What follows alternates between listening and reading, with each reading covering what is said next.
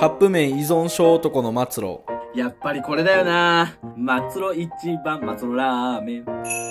俺はゴングー、実家暮らしのアラサーサラリーマンだ。通っていた大学も会社も、実家から近い場所を選んだので、一人暮らしの経験がない。あんたまたゴロゴロして、たまには洗い物とか手伝ってよゴロゴロできるのが実家の醍醐味なんでね。ちょっと今から遊びに行ってくるから、ごめんね実家ではお金さえ入れておけば親に何も言われることはなかった。え、単身赴任ですか？そうだ。君は若いし独身だし、ぴったりだと思ってな。来週からよろしく頼んだぞ。そ、そんな単身赴任が決まってすぐは不安もあったが、一人暮らしをするということに嬉しさもあった。今日から一人暮らし、頑張るぞ俺は一人暮らしグッズを買い揃え、これからの生活に行き込んでいた。しかし、それも最初のうちだけだった。はぁ、疲れた。初月から残業あるのかよ。なかなか赴任先では残業も多く、自分の時間が取れなかった俺の食事はカップ麺ばかりになっていた。家事がこんなに面倒なことだなんて思ってもみなかった。いやー、やっぱり、末路一番はうめえなおいゴングー、またお前カップラーメン食ってんのか？チルさんお疲れ様です。いやー、自分でも分かってはいるんですけどね。カップラーメンって新商品がほぼ毎週出るんで、飽きないんですよね。まあ俺も好きだけどな。でもたまには自炊して野菜も食べろよ。はい、そうします。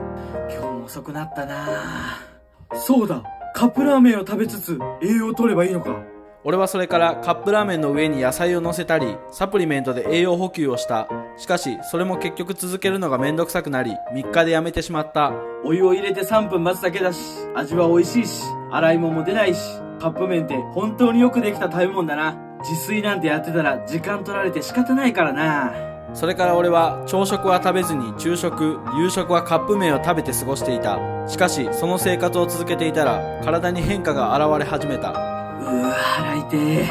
なんか変なもんでも食ったかな。徐々に体調は悪くなっていった。その影響で仕事ではミスを連発し、それに伴って残業も増えていった。そして余計にインスタント食品に頼る生活になった。ゴングーさん、あなたはコレステロール値や血圧も基準より大幅に超えていますので注意が本当に必要ですよ。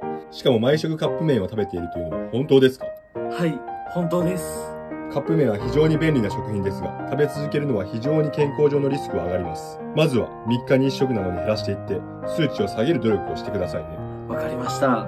それから俺は自炊に励んだり、外食に出ても健康的なものしか注文しないなど、一応努力はした。しかし、どれも味に満足できず、結局カップ麺の誘惑に負けてしまっていた。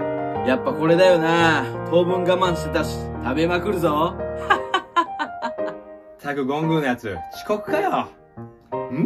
続いてのニュースです。今朝、松戸車両内で男性が倒れているところを他の住民が発見し、警察に通報しました。男性は救急車で搬送されたものの、病院で心筋梗塞により息を引き取った模様です。まさか、あいつが。